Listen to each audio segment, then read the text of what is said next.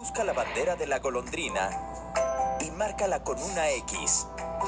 Miremos hacia el futuro.